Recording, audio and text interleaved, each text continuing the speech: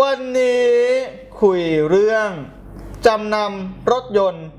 ผลได้ผลเสียเป็นอย่างไรจะติดคุกหรือเปล่า ตามให้จบ สวัสดีครับ ผมผมทนายความรณรงค์แก้วเพชรนะครับอ่าอยู่กับผู้ช่วยธนพลครับผม วันนี้นะครับ รายการทนายคู่ใจออกอากาศทางช่องทีวีดาวเทียมกับทาง YouTube นะครับ ครับผมติดตามรับชมย้อนหลังนะฮะที่ youtube.com นะครับพิมพ์คำว่าทนายคู่ใจครับผมหรือว่าโหลดแอปพลิเคชันทนายคู่ใจได้ฟรีนะฮะแอปทนายคู่ใจพิมพ์ iOS แล้วก็ Android นะฮะ iPhone iPad Samsung Galaxy แท็บเล็ตต่างๆ สามารถเล่นได้นะฮะติดตามข่าวสารของเราได้นะครับ facebook.com พิมพ์คำว่าทนายคู่ใจนะครับโทรปรึกษาคดีฟรีนะครับ092 453 3393 นะครับสนใจสินค้าสนับสนุนรายการทนายคู่ใจได้นะครับผม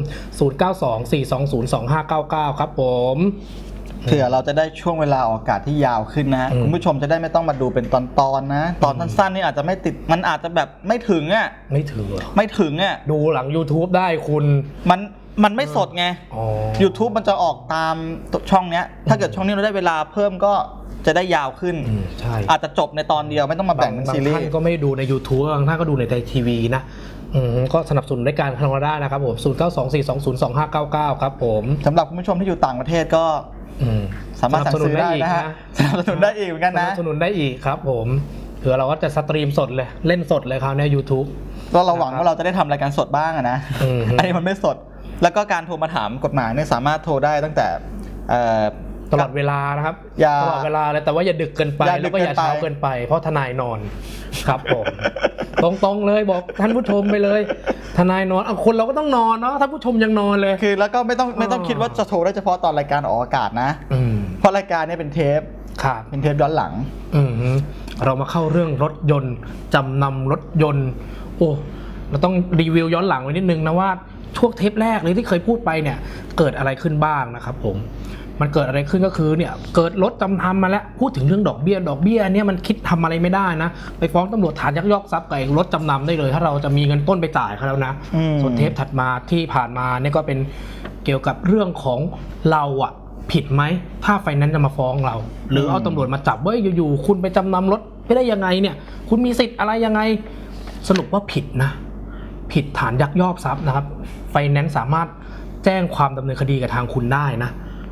ส่วนแล้ววันนี้จะเป็นอะไร และมีเคสหนึ่งน่าสนใจอะไรคุณมันมีอาชีพอาชีพอะไรอย่าพึ่ง ให้ผู้ชมติดตามผู้สนับสนุนรายการก่อน โอเคอะแล้วกลับมาครับผมครับวันนี้รายการทนายคู่ใจนะครับมีสิ่งที่น่าสนใจมาเสนอให้ท่านผู้ชมครับ เป็นผลิตภัณฑ์น้ำมันตับปลาผสมวิตามินดีนำเข้าจากประเทศสหรัฐอเมริกานะครับโดยน้ำมันตับปลานั้นมีสาร DHA เป็นกรดไขมันที่เป็นส่วนประกอบสำคัญของสมองและดวงตา ที่ร่างกายไม่สามารถผลิตเองได้ครับ ต้องบริโภคเพิ่มเข้าไปนะฮะ โดย DHA นี้นะครับช่วยเสริมสร้างพัฒนาการทางสมองทำให้เซลล์ประสาทที่เกี่ยวข้องกับความจำมีขนาดใหญ่ขึ้น เพิ่มการเรียนรู้และการจดจำได้ดีขึ้น และยังป้องกันและรักษาอาการปวดศีรษะของโรคไมเกรนได้ ช่วยประสาทตาแข็งแรงขึ้นอีกด้วยทำให้โอกาสเป็นโรคตาต้อกระจกน้อยลง โดยการผสมวิตามินดีนั้นนะครับทำให้ร่างกายดูดซึมได้ดีขึ้น เพิ่มระดับภูมิคุ้มกัน และมีส่วนช่วยให้กระดูกแข็งแรงมากขึ้นนะครับผมโดยราคานะครับน่าสนใจมากเลยนะฮะอยู่ที่ 1 ขวดแถม 1 ขวด ราคา 1,500 บาทนะครับ 2 ขวดแถม 2 ขวดราคา 3,000 บาทนะครับผมตลอดจน 5 ขวดแถม 5 ขวดฟรีนะครับผมราคา 7,500 บาทนะฟรีโปสเตอร์รายการทนายคู่ใจนะครับและทุกท่านที่สนับสนุนรายการทนายคู่ใจนะครับรุ่นรับบัตรรับประทานอาหารและปรึกษาคดีฟรีกับทนายคู่ใจนะติดต่อ 092 420 2599 ครับผมก็กลับมาพบกับรายการทนายคู่ใจนะครับผมเมื่อกี้คุณกล่าวถึงอาชีพ มันมีอาชีพหนึ่งอาชีพรับออกรถฮะ รับจ้างออกรถให้คนอื่นฮะและตัวเองอาชีพใหม่เหรอคล้ายๆเปิดบัญชีใช่ไหมคุณเห็นไหมเดี๋ยวนี้มันเขียนว่าเออดาวน์หนึ่งบาทฮะดาวน์ฟรี ดาวน์อะไรหนึ่งบาทวะว่าไม่ต้องวางเงินดาวน์ มอไซค์รถยนต์ อ๋อ ไอ้ดาวน์ฟรีมันต้องมีคนค้ำบัตรติดแบ็คลิสต์ก็ออกได้ ส่วนใหญ่เป็นมอไซค์ที่มีปัญหาอืมคือดาวน์หนึ่งบาทอืมรอ มีร้านค้ากี่ที่นะโอ้ร้านค้า หน้าออฟแถวออฟฟิศเรา ร้านค้าอะไรคุณ ร้านที่ จำเออไม่ใช่จำไม่พูดผิดรร้านที่ขายรถมอเตอร์ไซค์อดมีเป็นสิบเลยแถวเนี้ยย่านคนรวยเยอะ อาชีพเนี้ยอืมไปทั้งหมดที่คุณว่ามาฮะไปเอารถมาเพราะเขาไม่มีรถใช้อืมมันจำนำมันเอามันไม่มีวางดาวไงอ๋อรออืมแล้วไงต่อครับ เสร็จแล้วเนี่ย เอาไปขายหึอยู่ๆไปขายงั้นเลยอืมขาย อือฮึแล้วไงอะงง เจ้าของร้านมาตามไม่เจอรถ พอไอ้นี่บอกก็ขายไปแล้วอืมเจ้าของร้านไปแจ้งความจับเหมือนกัน ฐานยักยอกทรัพย์อืมแล้วเป็นกรณีที่ศาลไม่รอการลงโทษโอ้รอคือปกติคดีโทษจำคุกไม่เกิน 3 ปีอืมฮึยอมความได้ อาจจะรอการลงโทษถ้ามีการชดใช้บ้างแล้วอืมฮึแต่กรณีที่เป็นดูรายการทนายคู่ใจแล้วแบบหัวหมอบ้าง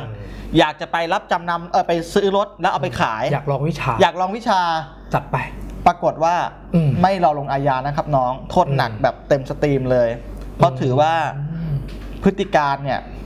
ไม่ปกติ พฤติการโจรน่ะว่าง่ายอะไปซื้อทุกๆทที่แล้วเอาไปขาย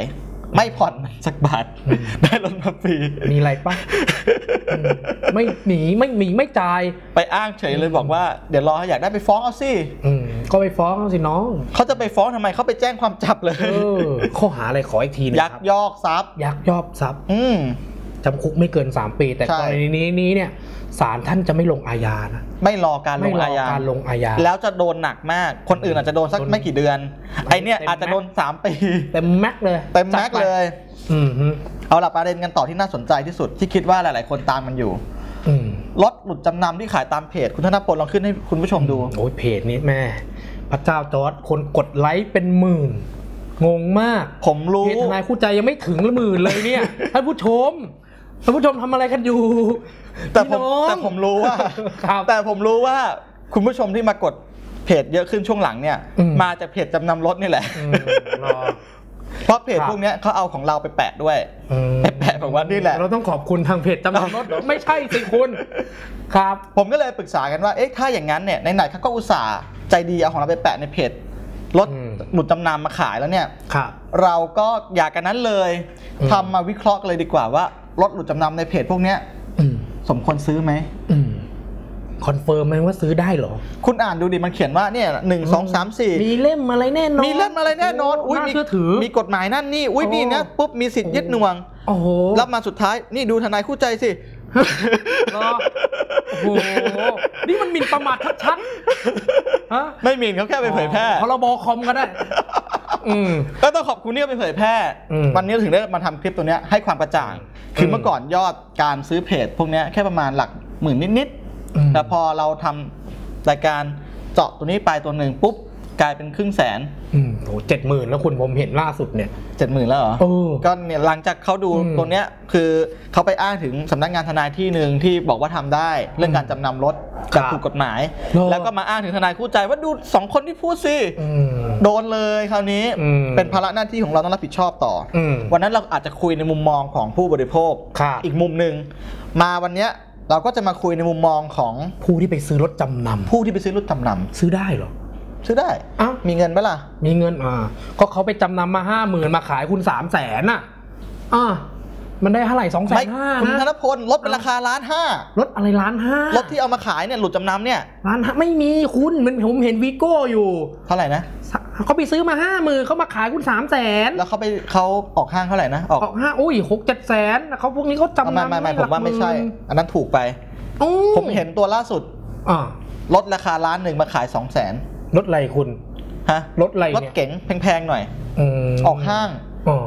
ล้านหนึ่งอ๋อ มาขายดูจำนำสองแสนอ๋อถ้าเป็นคุณคุณเอาปะล่ะ เออ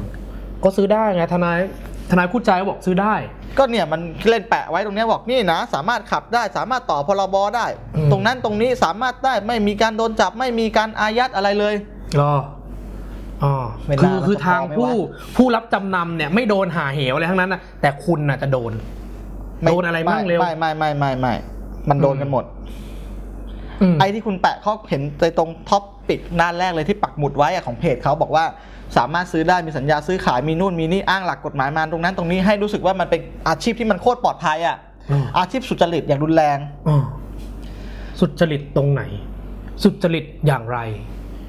แหมอืมมันไม่ทันเวลาคุณธนไม่พทัลนเวลานะต้องรอคลิปถัดไปหรือเป็นวันพรุ่งนี้นะฮะตอนกับหน้ารายการทนายคู่ใจนะเดี๋ยวแบบยาวๆเรื่องนี้เลยจะไม่ฝอยเรื่องอื่นแล้วอืมแต่ไม่พูดเรื่องอื่นแล้วนะครับผมติดตามรายการทนายคู่ใจได้ใหม่นะฮะที่นี่ที่เดิมนะสำหรับวันนี้ขอบคุณมากครับ สวัสดีคสรับวัสดีครับ